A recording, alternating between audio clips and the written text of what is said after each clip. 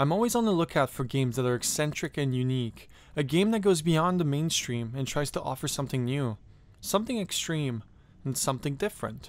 This game is exactly that as a faithful representation of the legendary art of H.R. Giger. For those that aren't aware, his art has influenced a lot of horror artists in a similar way that Stephen King did for the psychological horror. There's something about the way he mixes the living, the organic, the soul with the machine, the cold, the sublime, which creates a perverted reality so unimaginably dark that it transmits this feeling of suffering and decay like no other known artist. The melancholy of his art also stems from the pervertedness and explicit depictions of the human body and their sexual orgies. To be more precise, he's less interested in glorifying or depicting it in any other way than what it actually is. An intertwined process of and physical masses that orgy together in order to create something relatable and yet so unpleasant, maybe even a little bit taboo. We as a society aren't encouraged to consider it as such, so his art is only appreciated by the most curious and open-minded individuals, which is also true for this game. There's a lot happening here to the point that, for someone that isn't as versed, can be pretty traumatizing. This isn't made for most people, and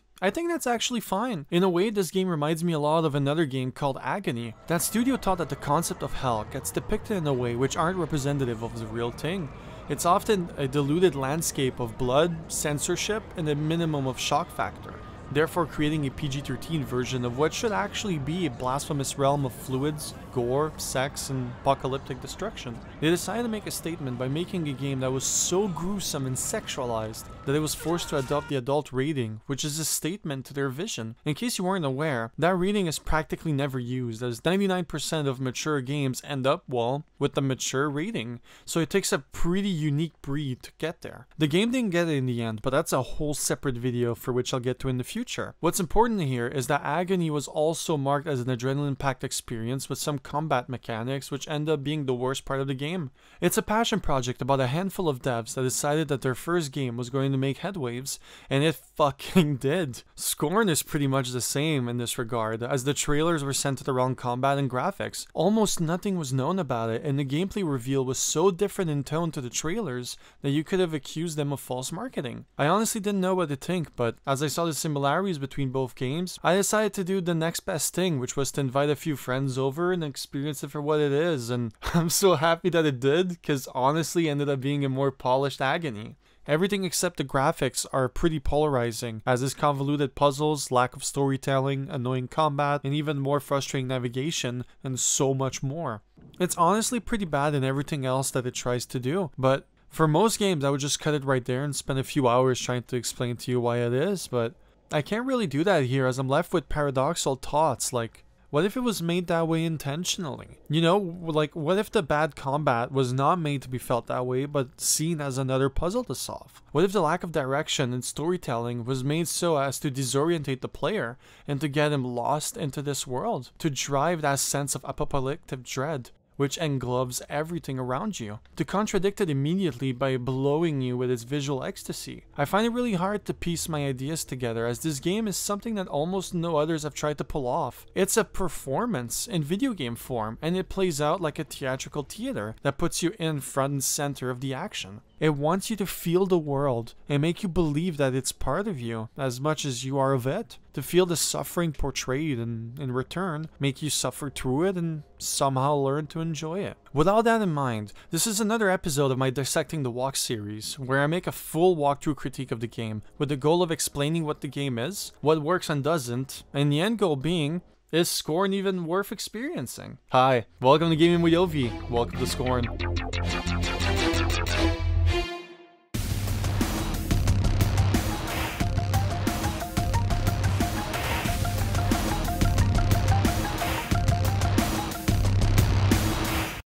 Scorn is the passion project of the newly formed company called EBB Games. It's a small Serbian company who intended on making headwaves by making Scorn their first video game. They started working on it in 2014 and then created a Kickstarter project, which failed from the lack of support and marketing. When it all seemed lost, they found an investor who funded them with a big enough cash flow to allow them to refine the project before making another Kickstarter project. Their plan was to make a two-part project as they were afraid that they would lack funds during its development. They therefore decided to release the first half of the game and then use the profits to fund the second part. That project ended up being successful, so they started working on the game rigorously. They promised that the game would release in 2018, but pushed it back as they felt that the game wasn't ready. In the meantime, they were also able to secure outside funding, which allowed them to scrap their two-part project and make a one complete package. After that, honestly not much was actually heard from the game. There were a few interviews, but nothing more, so some backers thought it was all a complex scam. There was also a general message that they posted which rubbed the people the wrong way, as the tone was perceived arrogant, so naturally, the fans were outraged. Their answer to all these claims was that creating a quality product takes time, and that anyone unsatisfied may request a full refund. They mostly went radio silent from there, while resurfacing every few months to share their progress. Fast forward to about a month ago, and the hype train actually started kicking in. Multiple teaser trailers were published, and the beginning of the game was released. Interestingly enough, we still had no idea what the game was actually about. If you read the interview made by Gaming Bolt, you would know that it was actually intentional. They wanted the fans to go in without any expectations, and that, ironically, ended up creating the opposite effect. Huh? Some people thought it was a first person shooter, others thought it was a glorified tech demo showcasing the graphics, and me, personally, I expected it to be like Agony, a glorified walking simulator with puzzles, and I knew right away that I was right, for better or for worse. Huh? Scorn starts you off with a cutscene of your character waking up after a long slumber. He has visions of a dead, dusty wastelands, which lead him to fall into what seems like an endless pit. Huh?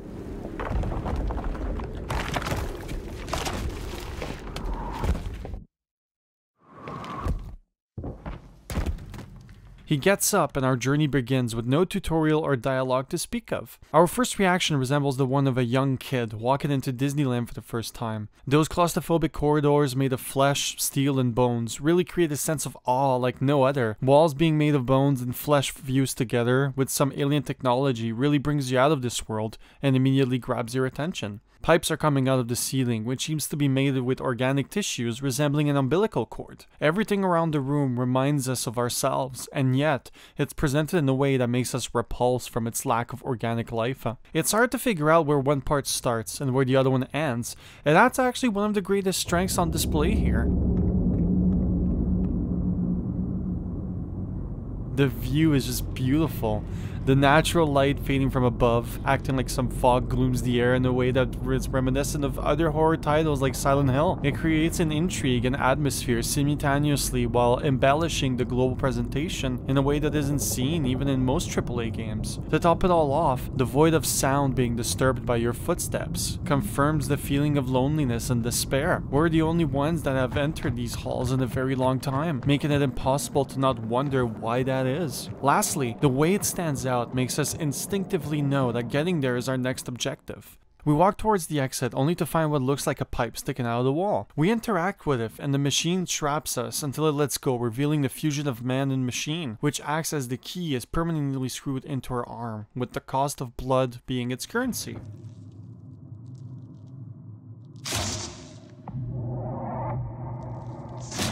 We use our newly acquired tool to open the door and head towards the tower. We get to the top and interact with the control pad, which fits so well with the aesthetic that I'm honestly at a loss of words. I mean, just look at it. Those switches end up being the controls to the rail line, and we're naturally introduced to our first puzzle. We enter the other pathways and find a machine that can scoop stuff. There's also a similar machine that has a saw attached to it. We need to add something into those, but what? We don't really know. We find the lift and go to the second floor, and this is where the first frustrating part of the game shows up. We need to bring the egg-shaped container with the small light to the left end of the path in order for the claw to pick it up. The first egg is easily to bring, but ends up breaking into pieces when the claw picks it up. We then have to bring the second egg to the far end, but this time, it has another egg attached to its bottom. We then need to Tetris our way out, and the puzzle honestly took longer than I would like to admit. All spaces need to be accounted for in order to bring it to its destination. It can also only go on the connectors with the holes at its center, so it became frustrating pretty fast. Uh, but thankfully, there's no time limit and you can try as long as you need until you jailbreak it and succeed. We bring it down and place it on what looks like a toilet shaped chair. And I mean, I'm not kidding. Look at it. It totally looks like a toilet, right? That has to be like the coolest toilet I've ever seen. Okay, maybe the second one because the Sega urinals are actually pretty cool, but certainly don't look as dope as these do. We get closer and examine what's inside and I don't really know how to react. I mean, it looks so in pain, crooked and deformed, but has a form of cuteness that I can't really explain. It looks at us with eyes of despair which say more than words can. We interact sympathetically towards it and instinctively want to help it, but we still don't know why it's here what its purpose is. We push it for a while until our progress is halted by something on the path. We interact with the nearest console and my heart just tightens as the machine drops on it.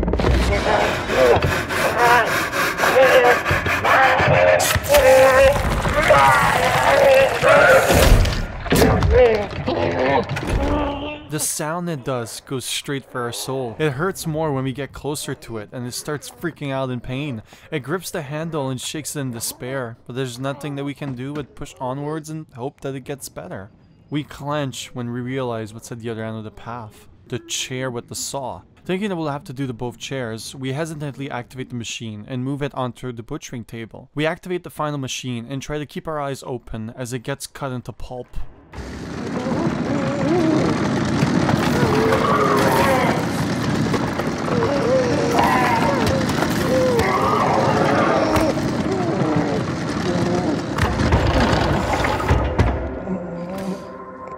We help it out by removing the shell, and look at it in awe as it tries to get up. Huh?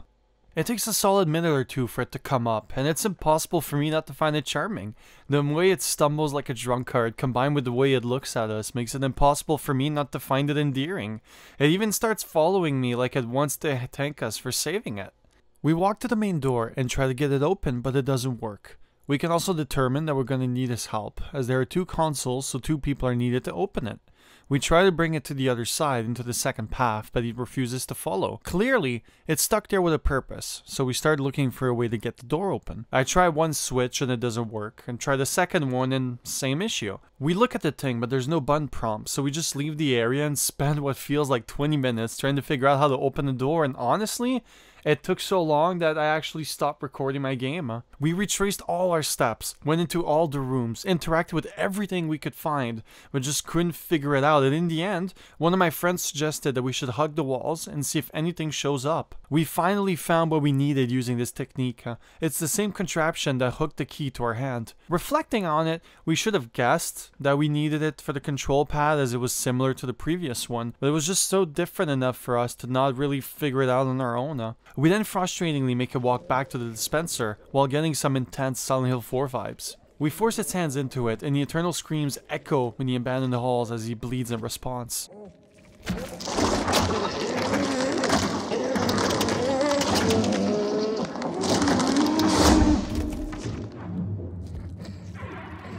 Not having learned his lesson, decides to keep following us after the abuse we just gave him. We walk it back to the front door and insert his hand into the machine.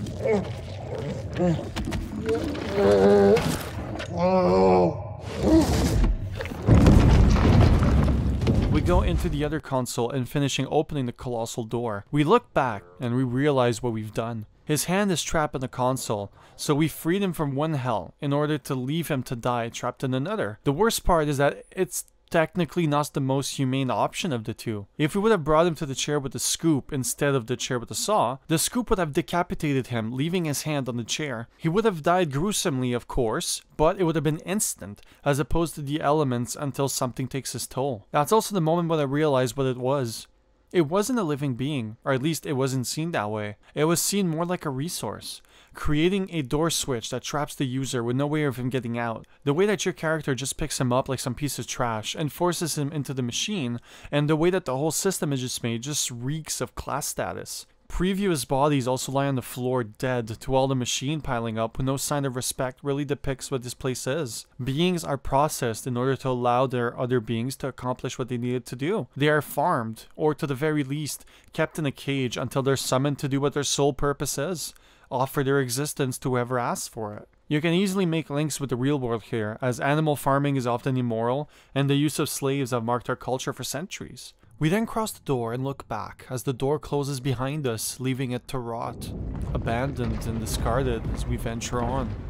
It's some pretty strong stuff, and as the beginning of our quest, it's an amazing start. It sets the tone for the game pretty well. It also gives us two ways to complete the task, and we're left scarred for the rest of the game. Unfortunately, it all starts to fall from here. The branching option doesn't appear in the game again, and we don't get another moment like what we just had with the creature in the subsequent chapters. There's a moment that does come close to it, but I'm getting a little ahead of myself, so let's move on.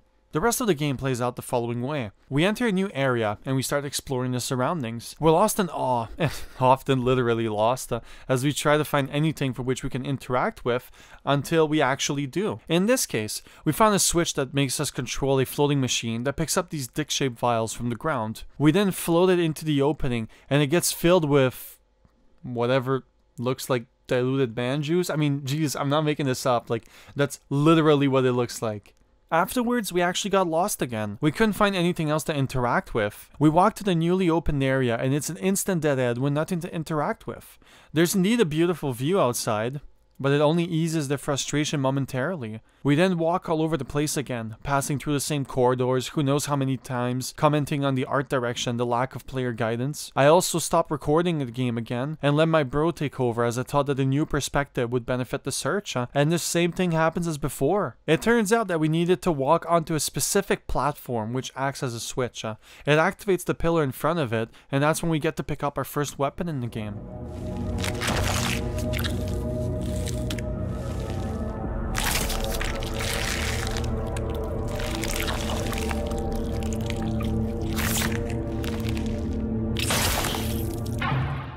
You can extend your spear twice before it needs to cool down, which is represented by the white bar on the right side of the screen. Now, there's an issue which I need to address before we head forward.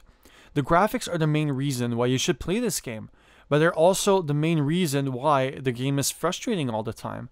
Everything looks the same with the same color palette that makes everything blend together, therefore camouflaging anything of importance. You feel like you're walking in circles most of the time, and it doesn't help that there are multiple paths that circle back, adding to the frustration. Also, as everything looks the same, you'll hardly figure out what you're supposed to do. Switches are hidden in plain sight, and are really hard to find in most cases. Although, to give credit where credit is due, once you know that the switch is there, you can see the effort that was made into making it visible. For example, the floor button is void of all other aspects, making it pop out of the environment, and the shape helps you somewhat figure it out. The same thing can be said with the hand upgrade in the previous area, with the added light source above it to make it pop. It's really a stroke of luck if you end up finding it, and then you feel like an idiot when you end up figuring out, which just totally misses the point. Just to give you a more concrete example, later in the game, you'll be forced into some encounters, and we kept dying because we were constantly low on health. We thought that it was ridiculous that we were halfway through the game and we didn't find a single health item. We went into the key bindings only to discover that there is indeed a healing item and that we were almost full of it. We just had to press the key. These kinds of moments happen often enough that if I wasn't playing it with friends and I didn't plan on making this video, I'm not sure if I would have finished it, honestly. That lack of explanation also applies to the storytelling and lack thereof. Uh, there's no dialogue in the game. There are also no collectibles to pick up or text to read. Uh, the whole game wants you to absorb the surroundings and theorize on it as I did in the previous area. That can be a bummer for some, as we're not used to that kind of treatment from our modern games. It was more common in the past, but never honestly in this scale. In other words, if you're not a player which analyzes the surroundings and gets his fun from it, then you're mostly just shit out of luck, huh? Mind you, there's nothing wrong with that, but I can't help but wonder why they had to go so imperial on it as they did. The worst part is that, as there are no story beats to stop the flow of the gameplay, there's also nothing to change the vibe of the game. There's also nothing to break the monotony of the whole experience, and once the graphics become stale and lose their charm, you're left to concentrate on the aspects of the game that just don't work, which again isn't intended by the developer. Once we have the probing gun, we head back to the corridor, and this time, we already know what to do. We saw a few interactive switches, and penetrating them with the gun activates the machine. Once both switches have been boned, we head back to the main control booth, use the machine to pick up the other vials, and use it to push them into the openings as we did previously. Once they're all in, we activate both switches and the machine breaks, leaking out its contents and covering our protagonist, making him pass out in the process.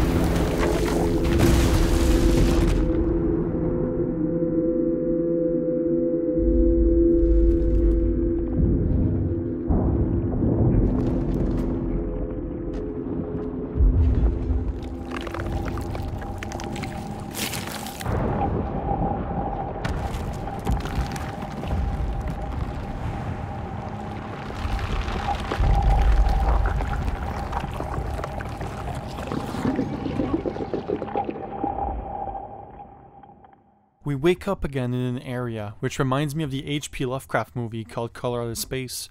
On a side note, I would totally recommend the movie by the way if you haven't seen it, and also just read the story too because they're both actually pretty different but they complement each other pretty well.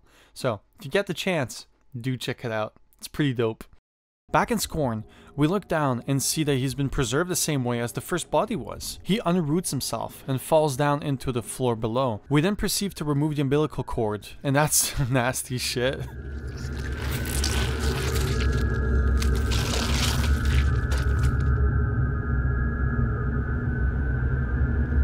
Again, I just love the cinematography here. The macabre scene in the fog in the background is just amazing. We get up and look above and see the other barnacle pods on the wall. There's also this guy who died hanging from his umbilical cord, which I actually find comedic somehow. I don't really know why, but I do. We turn around and walk in the long sea of corpses. Sand and bodies cover the area with some sort of flesh corruption embedded in the sand. What's also cool is that we can see some towers at the far end, which really pushes the sense of grandeur. I find that a lot of games have a hard time making you feel like the world existed before you arrived in the scene. It often feels forced or temporary, with little context beforehand, but here, it's impossible not to feel like you missed everything. You're clearly there after some form of rapture happened, and I wonder why did we wake up now of all things? Why is he in this world, and why is he going through all of this? Further down the path, we can see what looks like ODST pods and some flesh substances coming out of them. I wonder if a war happened here and only the leftovers were left intact. The live tissue from the beings been consumed and turned into whatever that is. At the bottom of the tower, we can see an opening that leads inside. We follow the path and admire the gorgeous work that the devs have put into until we get to the other end. We look around some more until we find another corridor and, full disclosure, this is my favorite tunnel in the game. I just love how claustrophobic it feels with the simplistic pattern being repeated over and over again. It's at the far end, we see a monster blocking our path, and we have no way of defending ourselves. We turn around, but it's a dead end, so we move forward and see that it runs into an opening.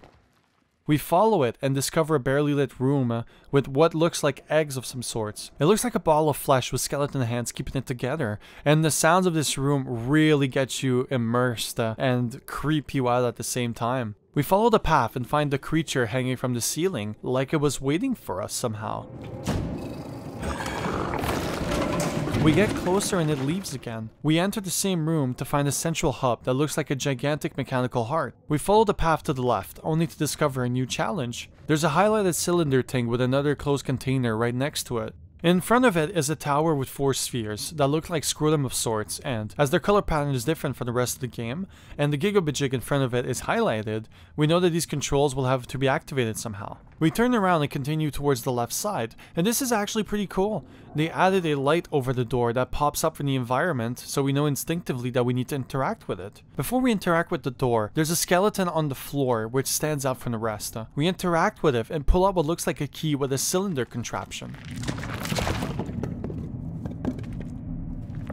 Right next to him is an opening where we can insert the key. The puzzle here is actually pretty simple. Rotate the top needle until it's aligned with the opening on the ring below. Do this three times and bring it all back to finish the puzzle. Your reward for doing so is an added ring, which isn't clear for what it does yet.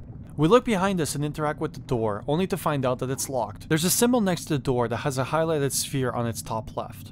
We turn around and head back towards the control panel from before and insert the cylinder in its designated slot. The first egg falls in place before us and the left path unlocks allowing us to further explore the area. This is also where we realize that we've embarked on another fetch quest. As the scrotum, yes, I'm calling it that from now on, uh, went back into place, we know that we'll need to find the other three rings in order to synchronize their drop, unlocking our way forward somehow. We then enter the newly unlocked area and go up the elevator. We keep following the path until we enter the tunnel, and we get to interact with another cool concept. By interacting with the control panel, we can select an opening and... It connects it together in a way which feels so satisfying. It's actually really cool, and I just love how it doesn't seem fully robotic, but flesh-like, and well, It sort of makes you feel dirty using it. I'm not gonna lie, it's pretty cool. Also, have you seen there are multiple paths that you can take, and all of them are necessary to complete for this quest. You'll essentially be walking all over the place to find the three rings that you need to proceed, so it can be very disorientating as coming back from a tunnel just messes with your perspective. This is also the moment where adding a visual clue or a mark somehow would have gone a long way. The end result is that you'll commit to a path and then find out that you looped and went back to the area, and as there aren't that many unique markers, it's hard to recognize where you were and where you're heading. To make matters worse, the egg room is also copied further down the path with a similar scrotum treating, so you'll often take a path and then realize that you messed up as your mind mixed both rooms. Also, in case I didn't make it clear by this point, there are no maps to speak of and no way to leave waypoints to find your way back. uh. Although, to give credit where credit is due, it forces the player to use his instincts and his curiosity to travel, and therefore unravel the mystery in a more natural way compared to other games.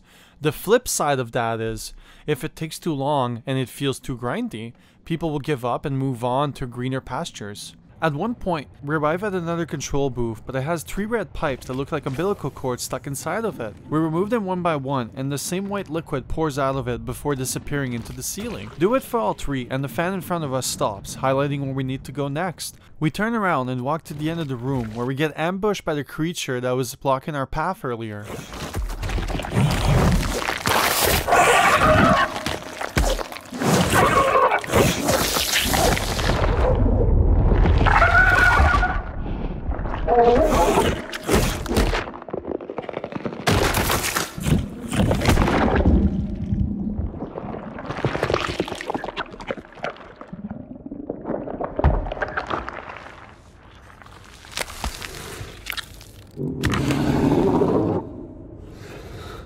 this is actually another really cool thing. Remember that probe gun we had earlier? Well, we just got it again, but now we know its origin. It's the tail of whatever jumped us, which ultimately means that we were holding a dismembered body limb in the previous scene. It's pretty cool how the devs know how to play our expectations, as I've never seen another game that pulls something like this. Although, its intentions are still left to be seen, as it did rip our flesh open so that it could insert its hands in our abdomen. We press onwards and hope that the new alliance would be for the better, which, judging by the world around us, is actually pretty naive. I mean, there isn't a sliver of hope or kindness in this world, so why would I expect the best out of the creature currently abusing us? What are we getting in return? A probe tail? All we know, I could be using its dick as a weapon, so I would be doing it a bigger favor than it actually lets on. Speaking of extending things that I don't understand, I find the next key component which is the same puzzle, but the sphere moves by itself this time. It seems hard at first glance, but the trick is actually in the sound cues. When you hear a click sound, you know where you need to place yourself and wait until you can do the same thing onwards. Afterwards, I get lost again. The way that the rooms connect and intertwine really make the whole area feel bigger than it actually is. At one point, you'll interact with another tunnel contraption and end up covering it with acid, unblocking a path and letting you instinctively know that you need to go there next. You'll also find another hidden blade key, and finally, you'll finally get to the last puzzle. Half of the puzzle is blocked off, so your first instinct will be to freak out and question your existence. But if you remember the previous trick, which is about the sound cues, then you'll be mostly fine. Wait for it to appear and then just place yourself there and do the same thing over and over again until you're done. We then head back and insert the completed key into the machine.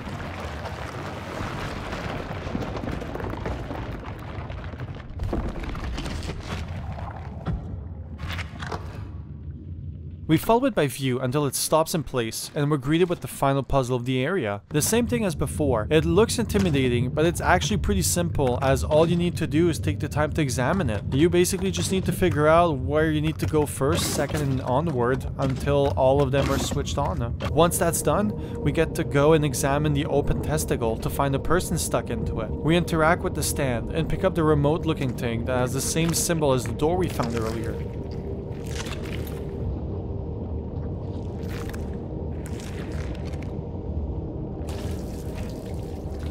There's also another item that we can pick up, and as we're doing so, an engineer-like dude comes out from the egg and dies in front of us. We walk back to the locked door and use the key which allows us to leave the area. Before we do so, I actually get a little worried. I examine the padlock to the door, and a thought comes into my mind which is, There's no way that we'll have to upgrade the key multiple times in order to access a bunch of doors, adding to the length and repetitiveness while reliving the frustration every so often, right? I mean, it's not like the whole game was a full-on fetch quest, right? And this would totally make sense as there are multiple spheres that are dark. Nah. I hope not, at least. While I'm at it, there's also another thing that I've realized, and it's that the levels were made with gameplay in mind and not the lore. What I mean by that is, imagine the whole city before the apocalypse. There are crowds of people doing their stuff. Civilians of all ages are going around doing their thing like any other day, and all the machines are working as intended. You're telling me that the procedure of getting around the area is finding an intact key, walking around the whole hub, and upgrading it manually until you get a full set? I mean, sure, there would be guards or another way to stop randoms from getting access to it, but it's still a lot of work for no reason. It wouldn't be efficient in any way, and frankly, it would be a total waste of time. Plus, I actually got lucky. Someone filled each machine with exactly one ring before they died so that one person, which would be me, would be able to unlock it and leave the area. Not to mention that, we should have found multiple keys and not just one. Think about it. Wouldn't it have been more efficient if the station had multiple rings in their inventory so that the people who actually need it can grab it and proceed with their lives? I know that it may sound like I'm being picky here, but the thing is, the game is trying so hard to make you believe that it's a real, tangible world, right? Uh, where everyone died, society raptured, and you're there after everyone else. Huh? And yet, their levels were not made with that idea in mind. It ultimately takes you out of the whole world building. It makes you remember that you're playing a video game. This concept is even more apparent in the next area, so let's just put a pin on it for now and move on. We head into the room and we get to interact with a cool contraption on the wall. We insert our item inside and it penetrates its anus, filling it with blood, which in return adds four orbs to its extremities. Now, you don't know this already, but this is actually our backpack. In their quest to make the HUD non-existent, they found a way to integrate everything in game and give it a tangible purpose. You won't have an icon at the bottom of the screen explaining to you how many health packs you have left, uh, but have to manually pull it out and look at it. You can also look at the lower part of your body to see the creature on its back holding it, giving it a sense of immersion unlike most games. Even healing has its own animation which fits with the philosophy of the world. You have to insert it into your skin and let the blood rejuvenate you and bring you slowly back to life. Uh.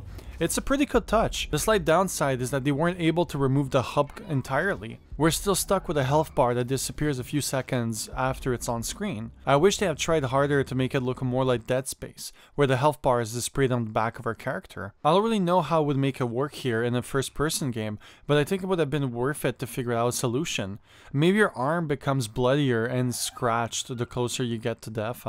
Although, just to play the devil's advocate, Maybe they thought it would be too frustrating for the player so they compromised. I don't know, but honestly, I'm still left wanting more regardless. The same paradox happens when you examine the ammo in the game. They also go into the remaining holes of the pouch, but when you use the gun, a bar on the right side appears showing you how much ammo is loaded and how much you have stored. Now, I know what you're thinking. There's combat in this game? Only the second half of the game has combat, but before we get there, there's something that starts happening once we get up the lift. I don't understand why it does that, and it's pretty weird that our protagonist doesn't even grunt at the pain. I guess we'll have to push onwards for now. We go through another door that requires our remote control. We loop back to the starting area and things are drastically changed. The place is dustier, in ruin, more abandoned somehow, like time has passed since we awakened. We also can't see the entrance where we abandoned our friend, so he probably perished as we all do here. We start retracing our steps and everything is darker and grayer. Maybe the malfunction rendered this area obsolete. We get to the starting area and use a remote control to open the door. We go down the lift and activate it. I really love how they made the lift by the way. I just love how it looks like a spine that's holding the lift. Genius idea for real. We and arrive at the fork on the road. We go left and fuck me. We already need a higher clearance for real. Whatever. Let's go for it, I guess. Huh? We walk back towards the path at the far right to find some creatures flying in the air. Thank you we turn around and go right once more to find our first upgrade for the remote key. It only adds one node, so it's confirmed that we'll have to find multiple terminals like this in order to gain access. Full disclosure, only the last orb won't be upgraded in the end of the playthrough. I guess that they preferred the pattern with the orb rather than without. We use our key to unlock a new door, and we finally meet our first enemy in the game. Now, I want to deviate for a second and talk about the other artists that inspired this game. Interestingly enough, most of the interviews and discussions made on the game mention H.R. Giger, but very few talk about the other famous artist that inspired the game. I actually wasn't even aware of him until I started doing some research, even though I've seen his art on multiple occasions. His name is... well, here's his name on the screen. I have no idea how to pronounce his name, so I won't even try. But when you look at his art, you can instantly see the resemblance between his art and H.R. Giger's. The key difference between both these artists are less about the psychedelic personification of man and more about creating what he calls the photography of dreams. Uh, he made some surreal paintings to which he doesn't name or explain what it represents, so they're all left to speculation. Here are some of my favorite ones that he's made, like the building here, which has featured on a lot of art pieces throughout the years. Uh, when you compare this image with the other one on screen, you can see his mastery in color as both buildings have similar characteristics, but have a total different feeling to them. The mastery of color in particular is what stands out to me, with its use on the different tints of orange to create haunting contrasts, uh, which stay with you even after you've moved on to other things. Uh. You can clearly see his influence in the opening cutscene, with the sandstorm camouflaging the ruins at the back of the scene. Uh. The deserted corpse wasteland is another one where his influence is seen, and the way that the buildings are represented really creates that same level of tension and curiosity that his art creates in the viewer. If you want to learn more about this artist, I recommend that you watch the video that Blind Dweller made on him. I'll leave it in the comment section below. But the reason I'm mentioning him here now and not earlier in the video is because I know him for a painting that you'll see on screen. When I look at the creature before us, I can't help but make a connection here. Something about the proportions and the way that it moves really seem familiar to me. Its twisted figure is also complemented by its attack pattern. It shoots balls of acids toward the player, removing a huge chunk of health on each successful hit. It's revolting to say the least, and that's the main feeling that I get when I look at his paintings. Interestingly enough, Baginski would often state that people misunderstood his paintings without explaining what he meant, so it is entirely possible that I'm missing the point of his art as well. Regardless, I like it, and I'm happy that I took the time to research him for this video. In order to kill the aggressor, we'll need to hit it 5 times with the probe gun, and unfortunately, we can only activate it twice before having to wait for the cooldown. That means that attacking consecutively isn't a good idea as it leaves us open to attacks. The cool thing is that we can use the gun to cancel his attacks and to shove it on the side, making it essentially a speedrunning tool. By the way, if you do decide to attack it till death and you aim perfectly at the head during the final blow, you'll get a cool animation of the gun being shoved into its head, killing it on impact. With that all said, we'll avoid it and activate the switch to make the door rotate, which also breaks the cable attaching to it.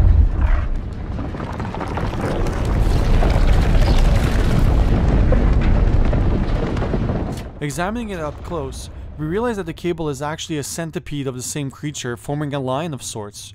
Looking around the room, we can see that they're literally everywhere, corrupting everything in its path and rendering everything obsolete. Uh, we then lined both rotation doors to open the path upstairs. Once complete, we avoid the creature and head towards the exit. That's when we're introduced to the second enemy of the game. They attack us in a similar fashion, with the key difference being that they're faster and rarely miss us. These are really annoying as they often attack you before you get the chance, so you'll practically always get hit first. They have a really long range and they are rarely alone. Thankfully, they only take two hits to die, and, similar as the first one, you have a special animation on the second hit. We go back upstairs through the tunnel and enter the new room where you'll be able to interact with a new switch. We activate it and the lift moves in place. The creature in our back attacks us again, removing a bar of health, uh, and we press onwards. We use the lift to get to the other side and interact with the switch. The elevator is held in place, so trying to remove it results in it breaking the lift.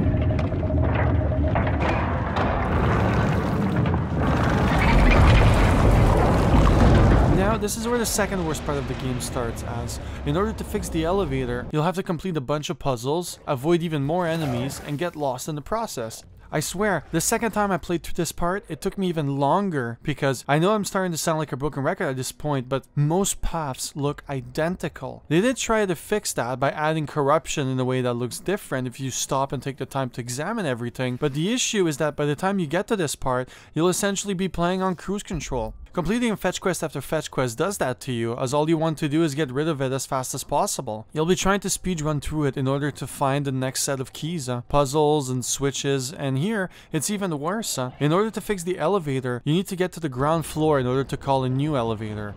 In order to do so, you need to liberate the path for all three floors, which means that you have to run to one end, complete the puzzle, kill some creatures, run to the other end, insert the key, and do it all over again. By the way, the lift that you use in order to get lower isn't controlled by you and moves on an invisible timer. That means they will often move between the floors regardless if you unlock them or not, and it won't wait for you to get in. You'll often get to the lift and the door closes in front of you, forcing you to wait for it to get down to the last floor and then back up again. The worst part is that, I don't know if it's my lack of luck or what, but the lift would often go down when I'm about to get in. Uh, so I end up waiting a lot for it all the time, which adds to the feeling that you're wasting your time. Additionally, what's also aggravating is that you may actually start dying from here on out, as enemies will often swarm you and body block you. You might also not have enough ammo, so you may have to resort to the probe gun, which is far from ideal. Ammo and health packs are scarce, and you will end up lacking if you're not careful. Add in the mediocre save system, and the fact that you'll have to repeat some gameplay guaranteed,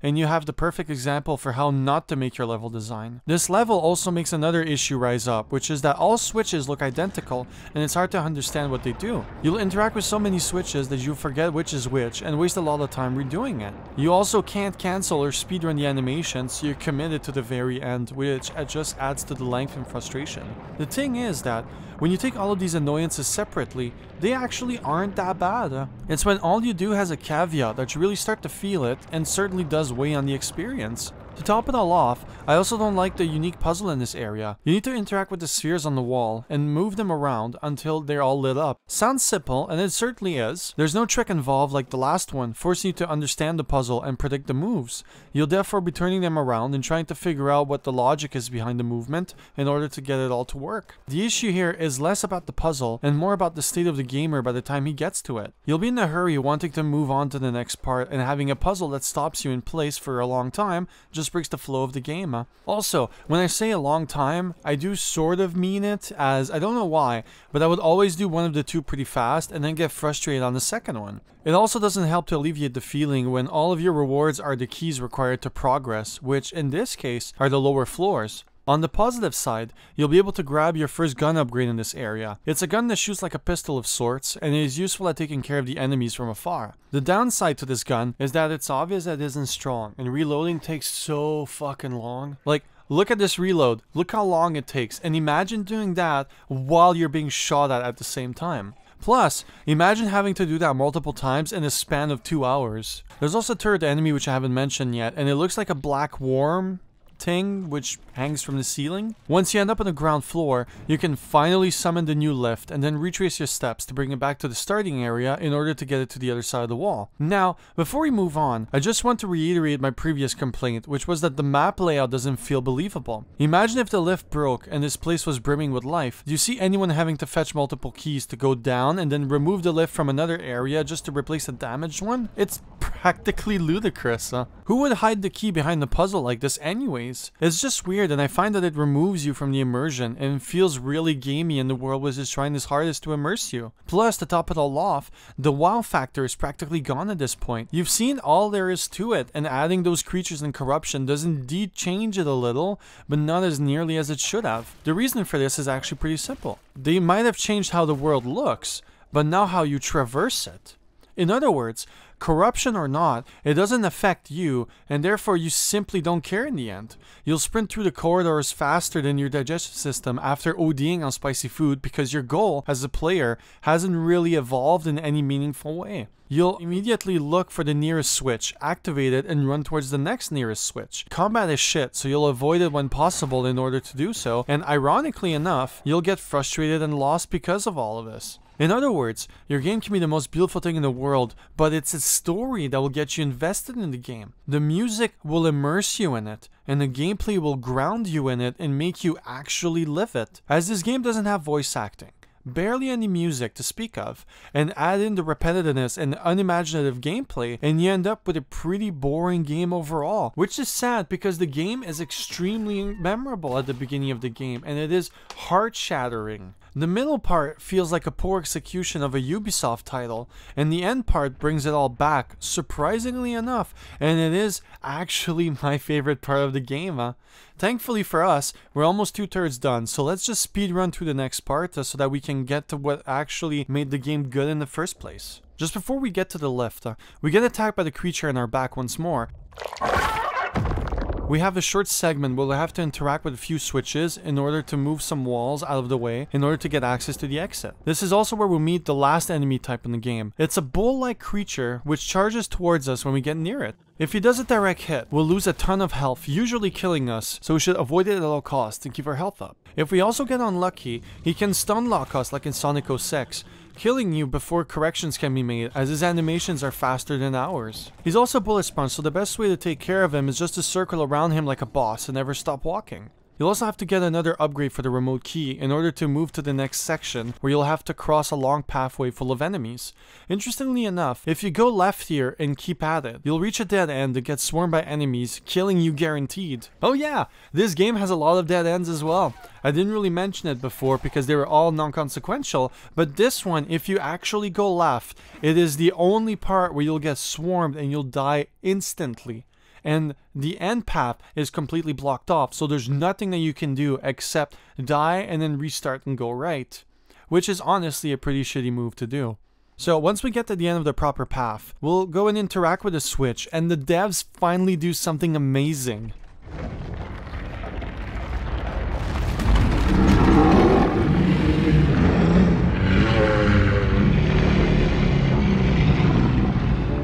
Look at it! It's amazing! Its scale is unlike anything that we've seen in the game so far. As it's conscious of the pain that we're causing him, it hits similar strings as the creature from the beginning. If we examine him closer, we can see that his size covers the whole central area and that, by activating the switch, we can now access the area under him. On his back, there are also what looks like worms, or maybe enemies on the map, wiggling on its back trying to get out. It looks like some sort of sentient hive, blocking our path, therefore acting as a natural blockade in our quest, uh, while being a visual spectacle for the player. What's also impressive is the fact that his mere existence changes the way we perceive the layout. Even if all the past problems that I mentioned persist and plague the gameplay, activating the final switch and hearing it growl in pain while his body shreds into pieces makes me really feel something.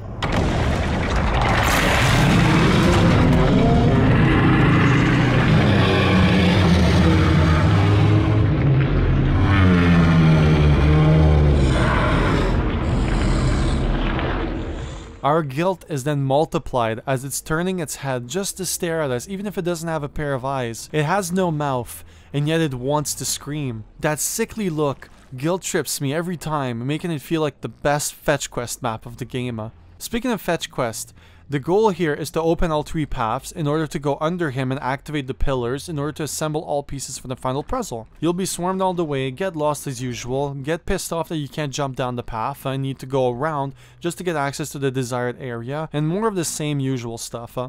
You'll also find the shotgun upgrade, which consists of the final gun upgrade for the game. Well, sort of, but whatever, we'll get there when we get there. You'll also have to upgrade your remote key again to unlock more of the area. On a totally separate note, once we're inside the beast and go towards the main puzzle, we'll get attacked by the creature on our back. But this time, it makes more roots grow out of our body, infiltrating all muscles and organs, and it will only get worse from here. Finally, once you get all three towers to the rightful place, uh, you have to complete a maze-like puzzle, with the goal being that you need to get the red orb to its center. All three maze layouts combine to make the total maze, so you just have to position the orb and then rotate the puzzle in order to move it some more. It's pretty basic stuff, so it also highlights the unequal difficulty of the puzzles overall. This is the last puzzle of the game, and it's a cakewalk compared to the previous one, but at this point, I just don't care anymore. Once the puzzle is done, the room activates and we discover that it's actually a lift and it goes high.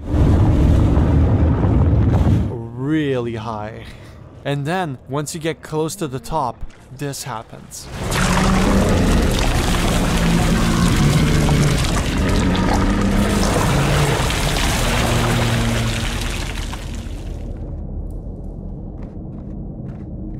The spilling of guts liberates the path upward and we get to leave the area. We get to also look through the window to see the creature in pure agony. There really isn't any salvation for anyone or anything in this game. There's only death and suffering. We look through the other window to see the persisting sandstorm. We then walk to the end of the path, and before we enter the control booth, we're seized by the parasite once more.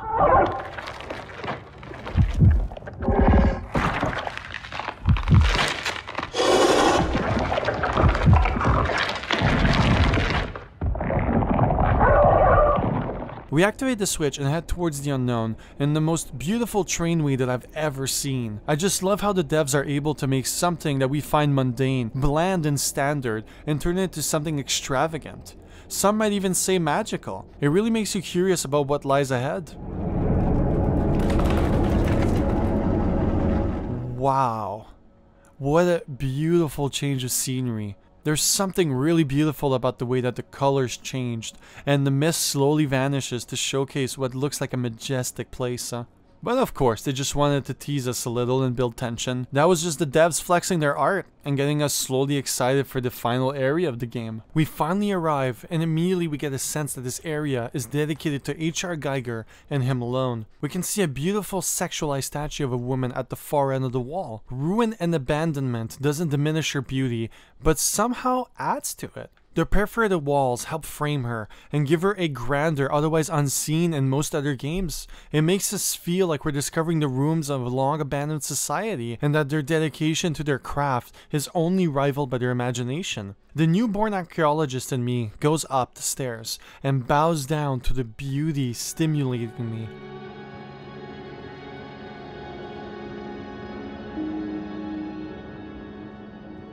People often say that an image is worth a thousand words, and I strongly believe that it is implied here. Everything that I see in this area, I'm blown away by it and impressed beyond my wildest dreams as the music straightens and adds to the complexity of it all.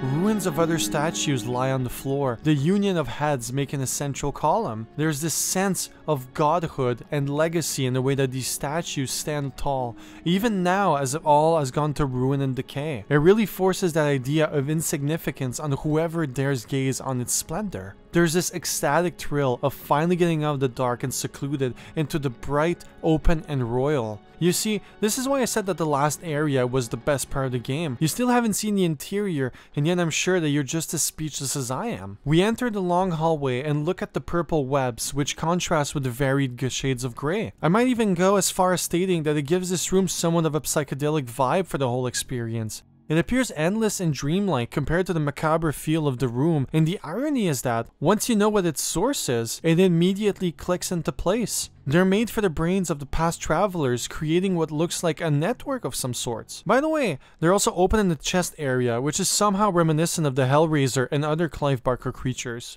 Behind us, there's this beautiful mural on the wall with the message as cryptic of the game itself. At the front of it all, guarding the room and welcoming all guests is one of the coolest statues that I've ever seen. I hope that someone makes a replica of it at some point and contacts me, lets me know so I can buy a copy. I really want one in my collection because it looks so fucking cool. We then go down the stairs and up the second pair of steps uh, to see two bodies lying on the platform. The body on the left has a long tube in front of it from which we can retract a vial. We leave the area and head inside the tunnel, and this is where my praises for this area practically stop. We arrive at the door and insert the vial in the contraption next to it. The mechanism activates, pushing the door towards the right, allowing us to access the sealed off area. We turn right and grab some ammo, health, and the container on the pedestal. We can see that a disfigured creature resides in it, and I think it's actually pretty cool. It's definitely unsettling and pretty unique. Uh, the devs really know how to present their stuff. We bring it to the other end of the room to find a biomechanical body with a similar shaped opening on its torso. We insert it inside and it starts coming to life. We shoot it and the creature comes out, killing the other shell and whatever resided in the glass box. We pick up the corpse, bring it to the entrance and insert it into the machine.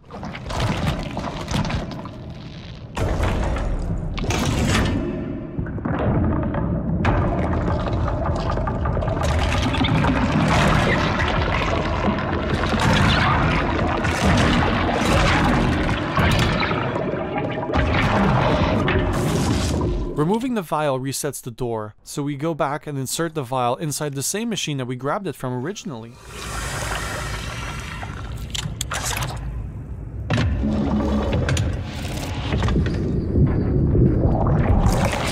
Now we need to do the same thing for the second one, so we grab the empty canister and walk back to the door. We insert the vial once more, and looking at the new body, we can see that this new version has a weapon on its right arm and a robotic arm for the left. Anyone who's played a video game before can guess that a battle will follow suit, so my question is, why can't I just kill the creature inside the canister when it's on the pillar and skip the whole encounter? Why do I need to put it inside the robotic body in order to kill it? It just doesn't make any sense to me. Like, imagine if the society that created this building was still alive and they had to design a system like this. I'm sure that risking their lives every time that they needed to feel a vial wouldn't be part of their plans. It would have been cool if the game programmed both options. For those that didn't think about it, they would be forced into the boss battle, and for those that did, like I did on my first try, get to skip it. But nope, that's just not how it was imagined. So insert the class prison and get ready for the inevitable battle, and oh my god, is it bad. So, here are the first 30 seconds of the battle, unedited in any shape or form just to prove my point. So, here you go.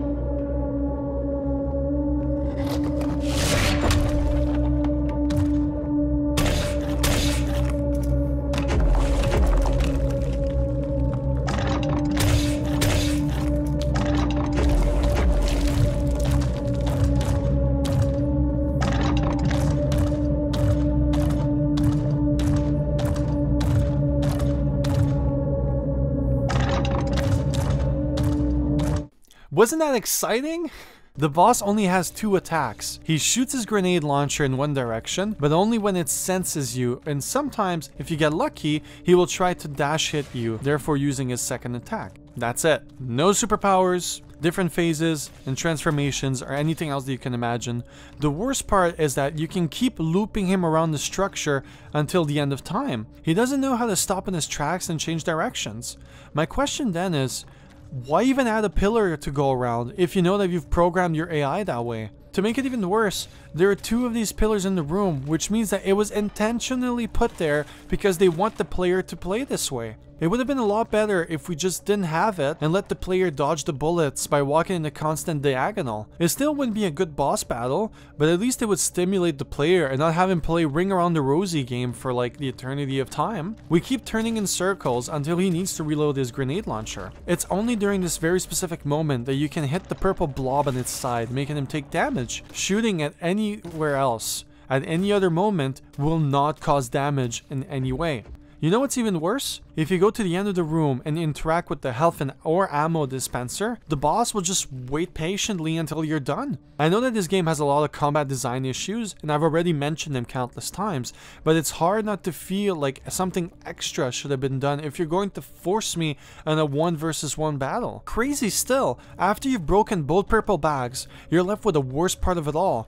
You have to wait for it to deplete its ammo, get close to it so it stops following you, and then hope to god that it lets you shoot its weak spot. More often than not, it will hold the protector screen while reloading, so there's nothing that you can do but repeat the process and hope that you have an opening on the next run. This phase can be as long, if not longer than the first phase, really damaging your last impressions of the game. I want to know who designed this and said it was fine. Like, I play a lot of bad games on purpose, and I've seen some very badly designed stuff, but but this is just another level. Also, if you thought that my first time was an exception and that I got unlucky, you would actually be wrong. I finished this game four times, and every time I was like the same thing.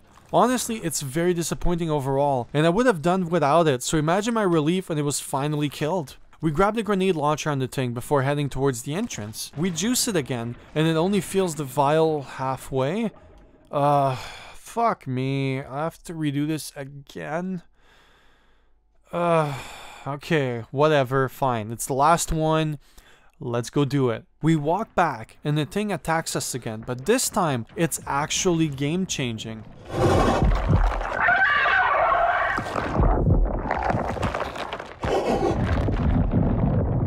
I can't change my weapons anymore. I can still heal myself and reload, but that's about it. Luckily for us, the grenade launcher is the weapon we need for the next part, so it's pretty convenient that we grabbed it on time and we're still holding it when it fused with our arm. The other container is kept behind a blocked door, so I stand on the button on the floor and shoot inside the opening. I grab the container and yep, we're gonna have to kill this asshole again.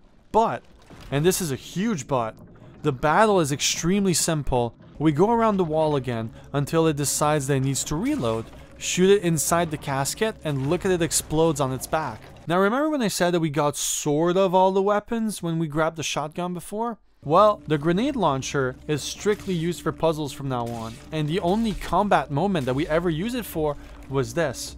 And honestly, I'm happy that it's the case, because with a boss battle like this, I am done with combat. Period. We grab the corpse and juice it again. The vial is now full, so we take it and walk back only to get attacked again.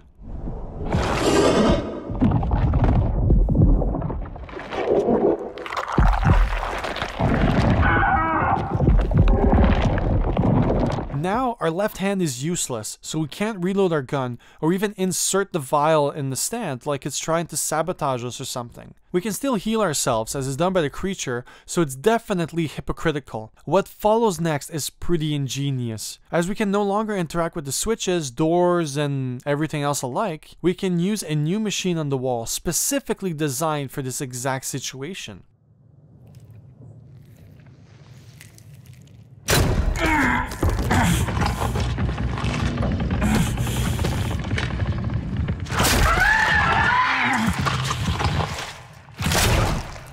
We now have a limited time before the roots grow back on our hand, so we'll have to complete a few basic puzzles like shooting the gun while avoiding obstacles, upgrading our remote key for the final time, interacting with all the switches while losing health in a constant rate, you know, your typical stuff. Huh? It's honestly really cool and original, which shows that the game is at its strongest when it's trying to be as immersive as possible and lets you concentrate on the world building. We rapidly go through all the obstacles until we get to the end of the room and interact with the big machine.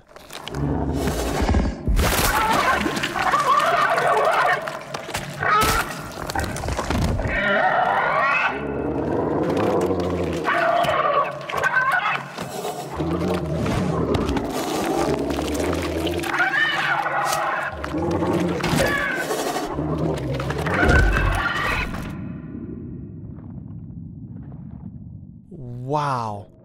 Just look at it. It is amazing. What I find very interesting is that it seems human at its core. It has also the same figure from the main menu and from which we start the game as. That means that the visions that we were seeing at the beginning were from two different entities and not two different moments lived by the same character as initially thought. Once we're done observing it, we can now aim the machine at its head and activate it.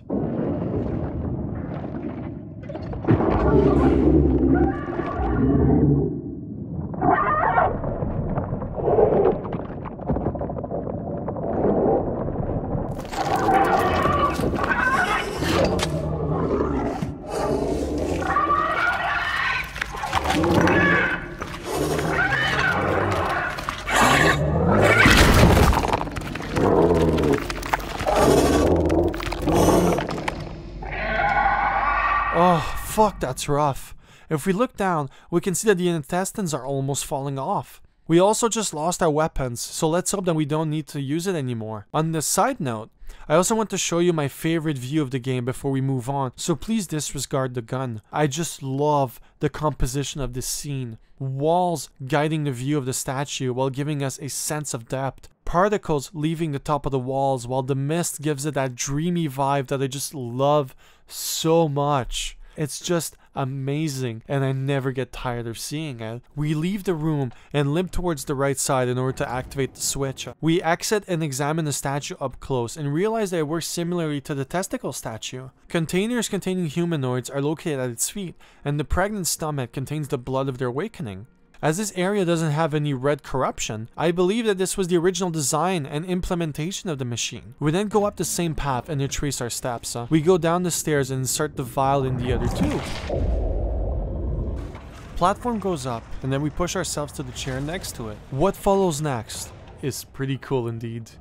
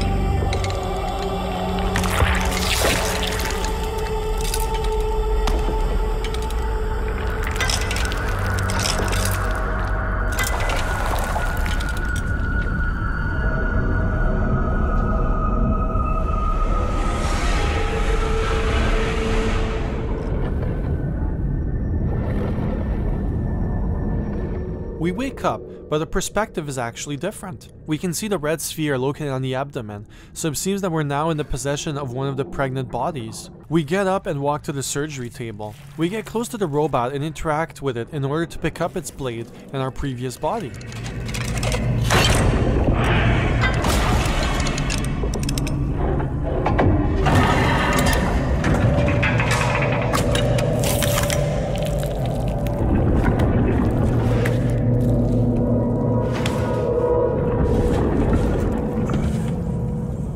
By examining the body, it seems pretty similar to the corpses that we found in the desert. It doesn't have a mouth, and the shape of its head is similar. It also makes sense as we did wake up in one of the pods, and there were many of them scattered on the walls. I think that this is what the mural represented, as we had to connect our body to the machine in order to get access to the body on the right. I just haven't really figured out what the middle part means. In case you were wondering, I'm not controlling the knife. It moves by itself, and I have no say in the matter. We then switch to the other body and walk towards the key dispenser on the wall. Note that this is the only time where blood isn't spilled during the process. That makes me believe that it's some form of mechanical being, and the stomach is its life source, confirming my hypothesis about the pregnant statue. Now, before we continue, look at how cool they both look, huh? especially the new body that's holding us. It looks so muscular and yet mechanical like, with that little like flower opening thing on its forehead, really giving me some Last of Us vibes. Huh? And the back, oh my god, I just love the skull. It looks so damn cool.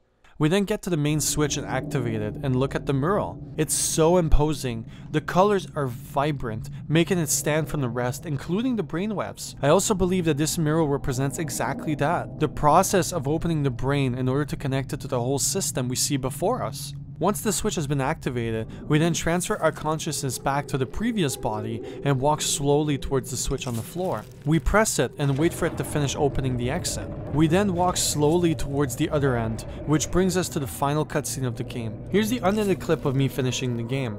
Please enjoy, and afterwards we're gonna circle back and explain what the story is. Or at least I'll do my best to attempt it.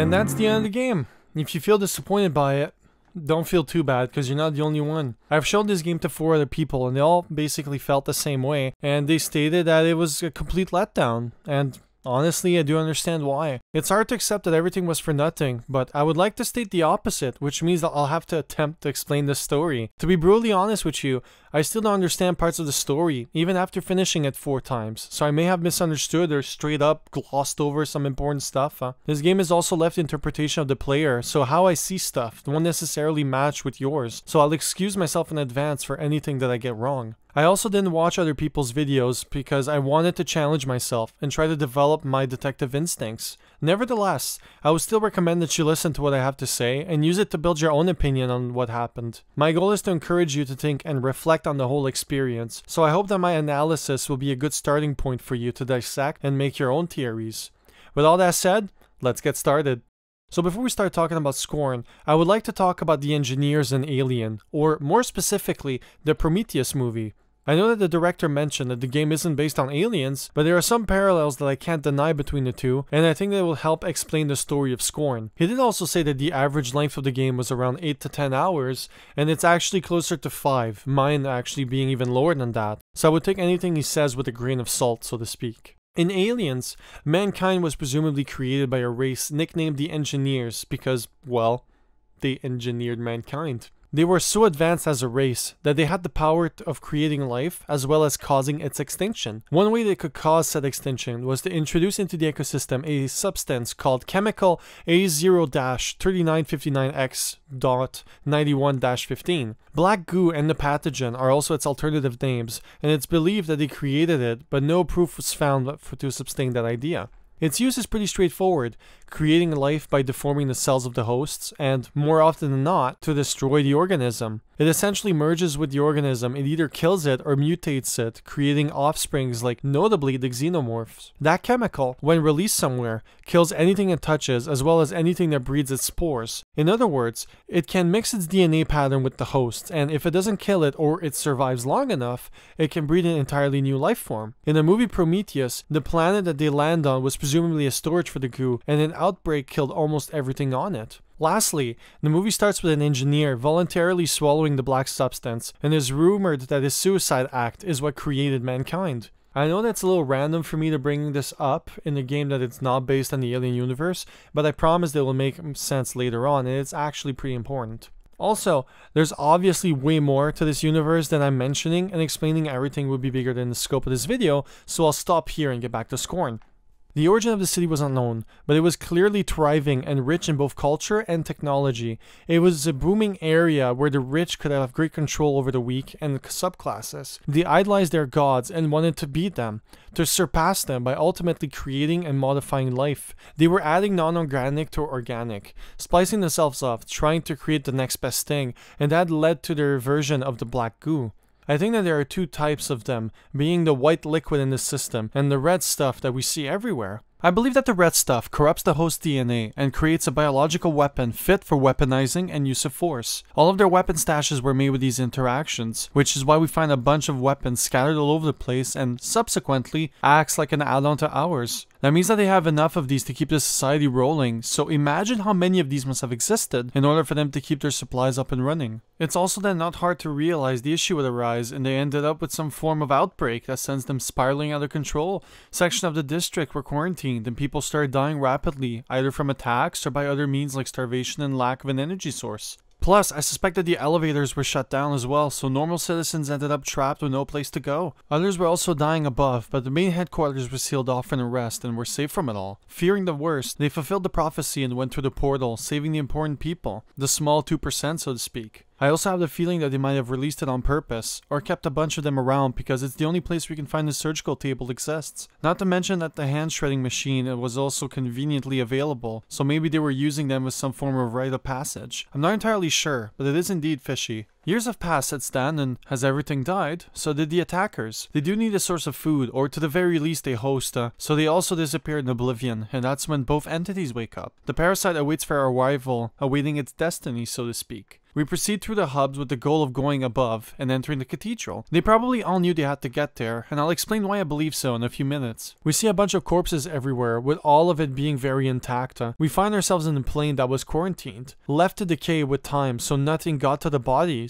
They simply just died of natural causes. But what I find interesting is the concentration of bodies in one area. Logically, it should be an exit, maybe another one of those lifts, and if so, they all died because it wasn't operational. So just to recap, we find a lot of bodies because nothing really got to it, and time turned them all into dust. That all changed when the machine malfunctioned. You see, this is where my Prometheus theory comes in. I believe that when we died in the white liquid, our body was used as a vessel to birth what I called in the game the corruption. This white stuff is the main pipeline of the building and connected to everything and anything. The release of that big of a quantity, mixed in with our bodies and the other bodies of other victims, could have mutated them, been used as food for the liquid, and in return, turn the corpses into a new living organism. It probably also got mixed in with the red stuff, creating something new and prosperous. That means that when we remove the umbilical cord, we were actually playing another character, and that the first one died birthing a new generation of monsters. Another reason why I believe it's the case is because the red roots really don't appear until we walk into the desert-like area,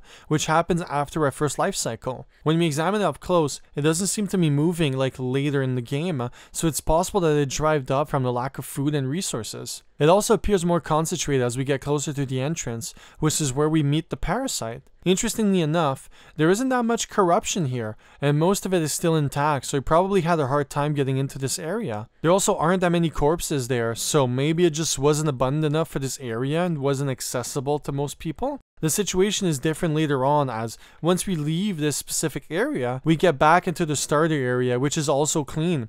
Unlocking the previous blocked door leads to the formation of one of the hives. No bodies can be found and the red tissue can be found literally everywhere. It fused with the corpses and created a new life form that attacks us on sight. It also makes sense when you realize that the game takes us to big places like an important elevator intersection and the main exit to the tunnel. Those are areas that would have compared to a transportation center or a busy street nowadays. Also note that these new spawns don't have the weapons we'd used, meaning that they definitely came from a parasite on their back. The corruption also becomes more intense the closer you get to the hive monster, which I believe is the main elevator out of there. I think that this monster was created from the accumulation of bodies in one area and were reborn in a single entity, and I believe that there is one simple reason for this. If you knew that there was an outbreak in the floors below, and that letting even one of them above could cause death and destruction, is this such a far-fetched to believe that the people in charge would choose to deactivate the lift so that no one can join them? The marksmanship on the statues, murals, and the impeccable architecture work leads me to believe that the high classes would have either resided there or would have been working there. Wouldn't it make more sense if they would have let everyone below die, thinking that their lives would be more important and therefore worth preserving? Whichever reason motivates them, they still did exactly exactly that, so a big concentration of people showed up, creating a bottleneck. Corpses piled up in one area and, mixed in with the corruption in the white liquid, brought the creation of the beast we see before us. It keeps birthing other living creatures, and is also the same color as the white liquid, so chances are pretty big. That's why we need to complete the weird puzzle to get it running, and why we needed to remove the key to get access to the other areas. In retrospect, doors created by quarantines of sorts. The protagonist, thinking that the lift is the only exit, decides to try his luck and get to the lift. As nothing is really there to keep him from activating the lift, he succeeds and leaves the area. Once above, he starts the ritual and is able to remove the parasite, as this is the only area that he has the necessary machine. He then transfers his consciousness, which is represented by the change of perspective and the main wall mural. It makes us believe that he succeeded, as his soul will survive, and I think that this is where the other mural comes into play. I'm still not sure what it means, but maybe it represents what happens in the end. His soul is connected to the brain network, and his body is offered as a sacrifice to the creature. If we believe that the middle part represents what I just mentioned, he was either lied to, thinking it would lead to freedom, or he knew it and hoped that he would be able to survive as a consciousness. Either way, it backfires as our view comes back to the protagonist and ends up failing his quest.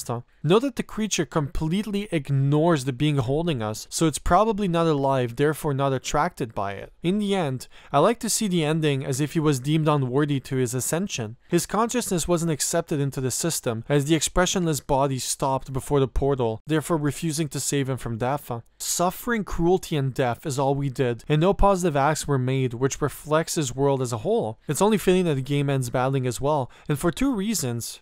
If we had a good ending, then wouldn't it not match the tone and the ideologies of the game? Secondly, the word scorn means, and I quote, the feeling of belief that someone or something is worthless or despicable. Everything in the game fits this concept. We start the game in the dirt and ruins of time. We treat the creature aggressively and return his kindness with pain and death. Uh, Bodies pile around us with no care whatsoever. We're abused by the creature and our will is not considered in any way. Everything around us also seems so big and demanding that we seem insignificant next to it all. All interactions our character has leaves him emotionless. He doesn't care if he has to rip you open, dismember you, or kill you as long as he gets what he wants. Uh, ultimately, even the prophecies saw him unworthy and left him to die without even trying to save him, as if he saw a piece of paper floating in the wind. It's a very pessimistic way of seeing things, but it also fits the global themes nonetheless.